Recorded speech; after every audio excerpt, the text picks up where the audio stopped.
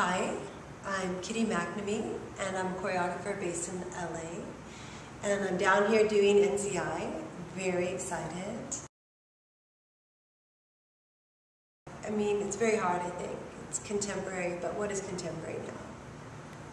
So, my, in order to do what I like, the dancer has to have a lot of technique. So, a ballet background is perfect, and then I kind of throw in, I wouldn't call it street, but it's, I don't, I don't even know what you call it. I think you could call it like a, a post-contemporary maybe, because it's not modern, it's not contemporary, it's very technical, but it's got a lot of um, breaking it down. Like if you could combine like William Forsythe, I love William Forsythe, I love Martha Graham.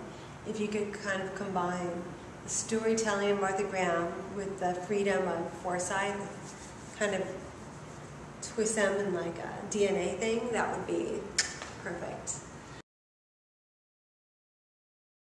I do really love music. I think that's my primary drive.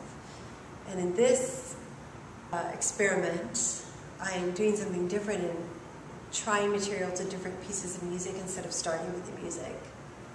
So that is a little unnerving. Very excited to be working with ballet dancers again. And also um, working with all new dancers is very challenging for me. Uh, to feel comfortable with new people and to feel like my uh, flavor is getting across and is being translated through them is really exciting. I definitely do not have everything set. I, I like to work off the individual dancer and off of um, maybe I'll have a narrative or a story, and then I'll see how each dancer fits into the story as a character. It's more intuitive for me.